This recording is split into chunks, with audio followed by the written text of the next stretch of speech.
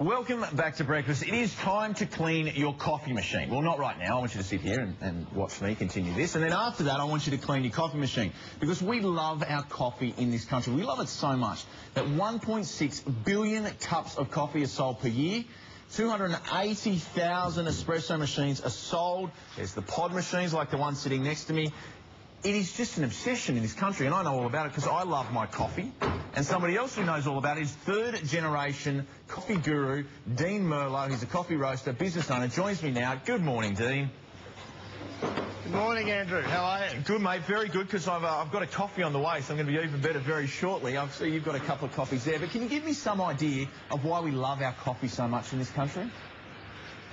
Well, you know, I think predominantly Australians are made up of a lot of immigrants, a lot of Italians, a lot of Greeks, and they brought with them the the good stuff. They enjoy a great coffee, and I think that that has become almost infectious throughout Australia. And I think now we're all getting caught up in the whole coffee craze. Yeah, and one of those important things is obviously cleaning your coffee machine. And earlier on in the week was was annual Clean Your Coffee Machine Day. Um, why is it so important to make sure we've got a clean coffee machine? That's a very good question, mate.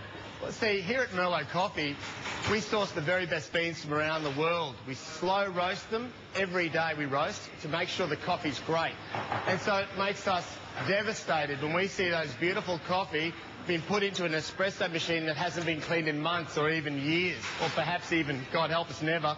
And it really tastes the flavour of the coffee and wrecks it. Well, I'm starting to feel guilty now, Dean. Um, what, what, are the, the signs that we need to clean our coffee machine? Well, you see, what happens, basically, coffee uh, produces an oil. And if you leave oils build up and build up, of course, oils go rancid. Yeah. So anything you put through that machine, Andrew, is going to be tainted by that horrible taste.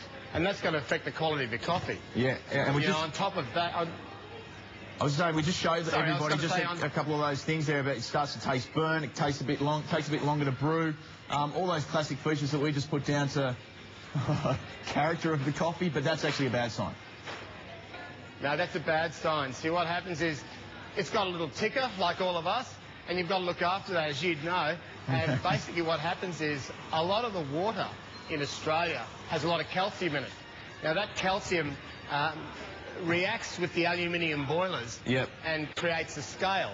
Now, that scale uh, pretty much gets through all of the insides of the machines and you'll see the reduction in pressure, reduction in steam pressure. So you're not going to get that true performance. Can, you know? can, can, I get you pretty to get started? like your arteries too. Yeah, and, and that's a bad thing. You don't want to clog up your arteries. But I, can we get you started there, Dean? Because we're, we're going to show everybody right now you, you how to clean a coffee machine because I've got absolutely no idea. I've got a machine sitting next to me sure. that's got no chance of being clean. But can you show us how, how we should be doing it? Yeah, great idea. Like, it's very simple, honestly. You know, we find it we find it best to basically before you make a coffee, just run some water through the head. You know, make sure the head's all nice and wet. Then, you know, you put the coffee in. Yep. Make the coffee. But when it comes time to clean it, after you've made the coffee, do the same thing. Just give it a bit of a rinse. You know, it's a lovely thing to do. You're rinsing it beautiful. Now, after yep. a while, what happens is the scale builds up because the calcium just reacts to the water. You can buy these beautiful, this is a descaler. Now you can get these uh, multitude of places, but you can also get it online at uh, www.merlo.com.au. Yep, it's a gratuitous plug, but I like it. It was, it was perfect. and, and, basically that, that will cost you about 14 or $15, that's all, and you only need sort of a capful at a time. Now we'd, we'd yep. pour that capful put it into the water at the base of your machine, and then basically you just run the water through the through the machine. It's perfect, Dean. We're, we're unfortunately out, out of time, and unfortunately you're in a different state, so I can't get to taste one of your coffees. But we do appreciate your time this morning. Thank you. No worries, Andrew. And just a thanks out there to all of those Australians who voted Merlo Coffee Australia's favourite coffee. Appreciate it. Clearly thanks, they know what they're talking about, Dean. Appreciate your time this morning. we're getting to a break. When we come back, Henry Hot.